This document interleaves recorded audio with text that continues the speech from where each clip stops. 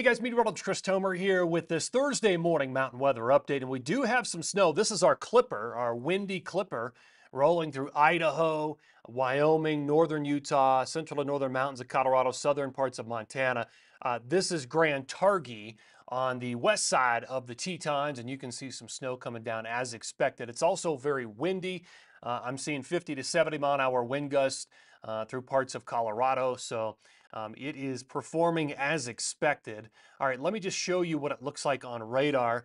Um, there it is. It's moving very quickly. You can see on the backside we're getting some of that rotation, a little bit of blue over the top of uh, the Tetons and, of course, Wind Rivers. But the whole thing's going to be moving out very quickly. But it is pinching the pressure gradient, and we're seeing quite a bit of wind across pretty much all of uh, Colorado, uh, Wyoming, Idaho, northern Utah, and Montana. Here's the, uh, the water vapor satellite imagery. And on this, your oranges and reds are your drier air aloft, your moisture is in your whites and your blues. And there is our little clipper right there racing through Wyoming. So what's next? Well, we've got this storm system and it's looking pretty strong and well organized, and there's one to the north coming out of the Gulf of Alaska. These two storm systems will combine and actually merge and become the next storm system that moves into the Intermountain West on October 28, 29, and 30. And then there is one more storm system behind that. We'll rotate in behind it right on its heels. All right, here are my bullet points this morning. So our windy clipper is happening, and that happens mainly this morning, and then the low is going to race out this afternoon. The second storm comes in 1028 through 1030, and then the third one rotates in around Halloween and continues into potentially November 1st. So there is action on the board all the way through early November.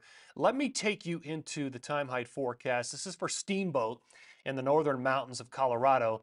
Uh, humidity in the atmosphere next 72 hours roughly. Um, and, and, so you can see just a, you can see the folding right there with that high wind coming through early this morning uh, with some of the wind flags at 50 knots or more. Um, and there's a little bit of humidity in green. You can read the timeline on the bottom from right to left. This is all through the, the vertical layers of the atmosphere. And then after this morning, the air dries out significantly with the yellows and the oranges taking over through hour 72.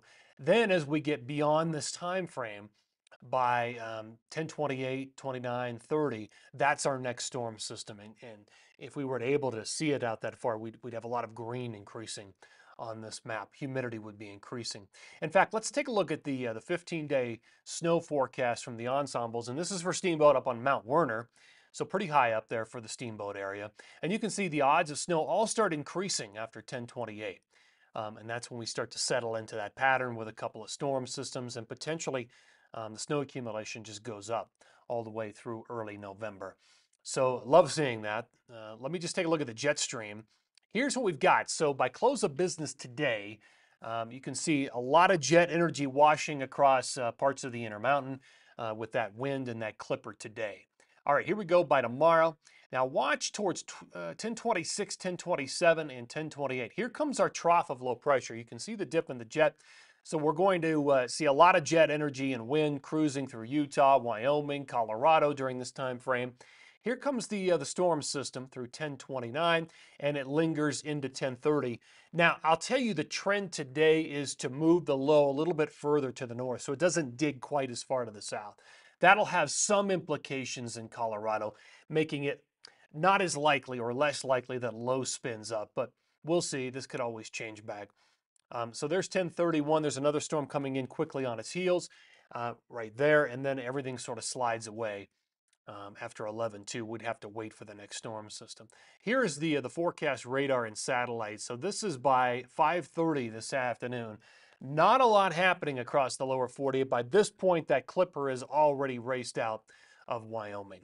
All right, so here we go. 1025. Here comes 1026 storm hitting BC, Pacific Northwest. Here comes the southern portion of that.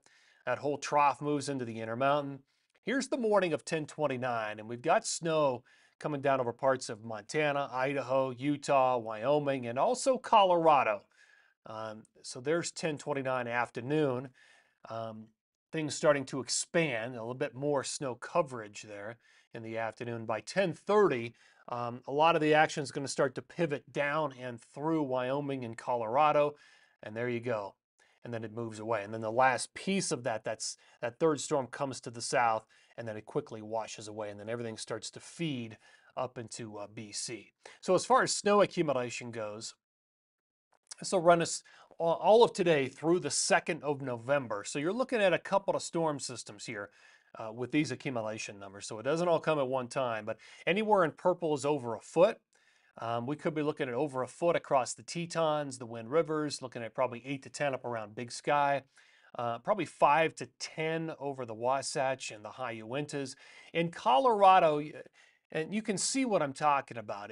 If the storm system tracks a little bit further to the north, that puts more snow into Wyoming and less across the front range high peaks of Colorado. Yesterday, it looked like the numbers would be bigger. Today, I brought them down.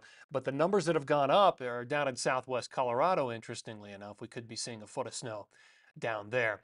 Up into parts of BC, a couple, maybe even three storms laying down a foot or more of accumulation up there through parts of Whistler, Baker, Rainier, certainly and all the way down through parts of uh, Oregon and just a lot of the Cascades and the high volcanoes will get hit pretty good.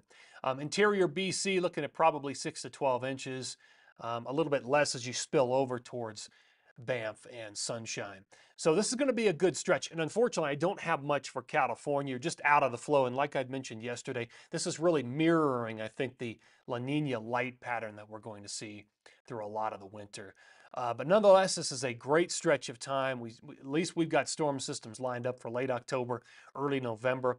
And again, we'll, we'll, I'll show you this for, this is of course, Northern Colorado Steamboat. Snow accumulation, the odds continue to increase all the way through early November. Um, so that uh, that suggests that the pattern remains active. All right, guys, that's going to do it for this morning mountain weather update. Always appreciate you tuning in here. Take care and have a great Thursday.